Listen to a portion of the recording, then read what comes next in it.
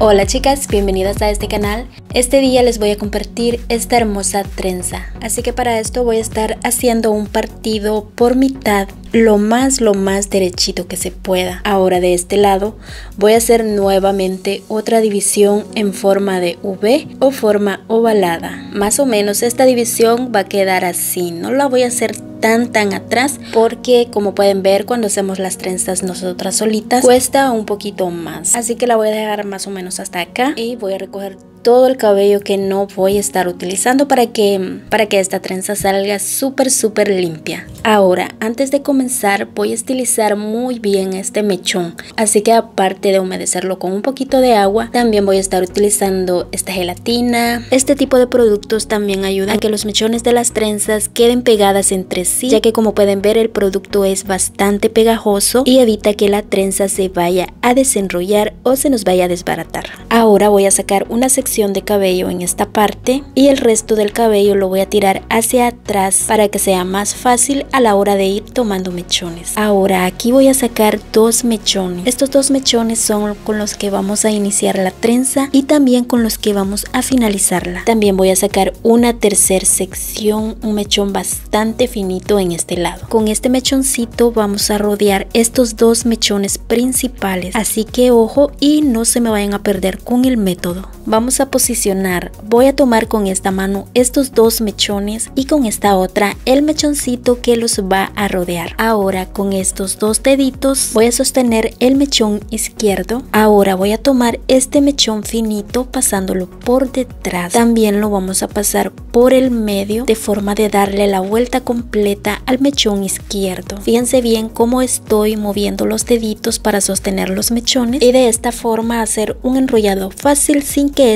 se enreden. Como pueden ver la idea es solamente irlos rodeando y no equivocarnos en la vuelta. Voy a dar la vuelta completa para asegurar y de este lado vamos a comenzar ya agregando mechones. Ahora aquí viene el truco chicas, para evitarnos quebraderos de cabeza los mechoncitos van a ir estrictamente delgados. Yo la hice con mechones gruesos y la verdad no me funcionó para nada. Una vez tenemos listo este mechoncito, vamos a unirlo con el mechón finito y vamos a continuar rodeando los mechones principales. Así que vamos a terminar esta vuelta y lo voy a pasar por el medio también. Pero para eso, como pueden ver, estoy haciendo estos movimientos.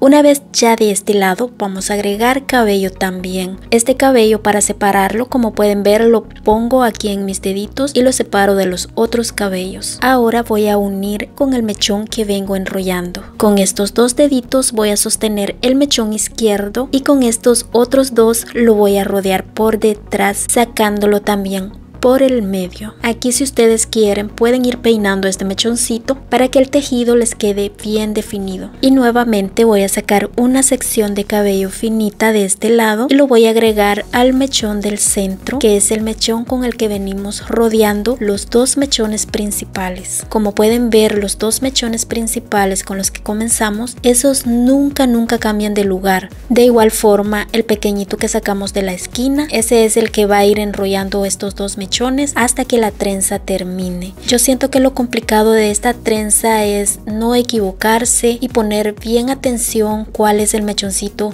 el que vamos a estar enrollando porque como pueden ver no podemos tomar otro mechoncito para enrollar más que con el que comenzamos. Otro tips muy importante chicas para que esta trencita no se les vaya a desarmar al momento que estamos sacando secciones de cabello es que esta trencita no la vamos a llevar así levantada hacia arriba la vamos a llevar así pegadita en todo el margen de nuestra cabecita, excepto cuando estamos enrollando o rodeando los mechones. Justo en ese tiempo vamos a tratar de llevar la trencita dominada hacia atrás y no levantada hacia arriba. No se trata de llevarla súper presionada porque también les puede doler la cabeza. Simplemente con llevarla pegadita y no levantar mucho las manos, pues con eso tienen para que esta trencita les quede muy bonita. Y bueno chicas, vamos a agregar ya el último cabello de este otro lado del mechón izquierdo y esta trencita está casi lista.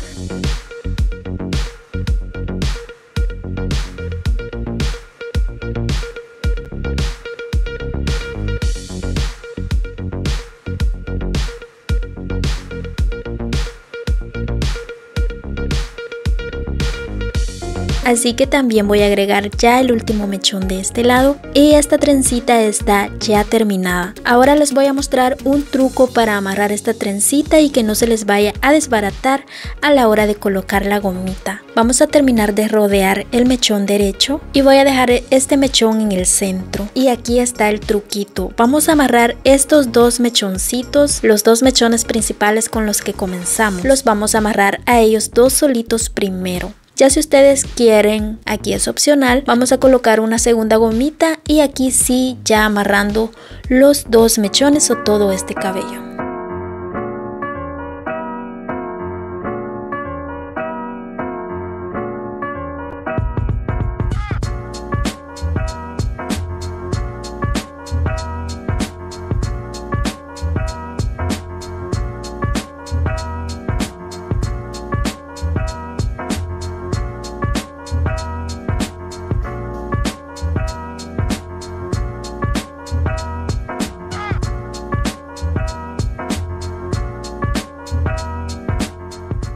Ahora les voy a dar una segunda opción si quieren sus colitas más levantadas. Para esto yo simplemente aquí utilicé la herramienta, la herramienta para pasar mechones y lo único que tienes que hacer es que después de colocar las gomitas vas a darle vuelta a los mechones de adentro hacia afuera y quedan así de bonitos.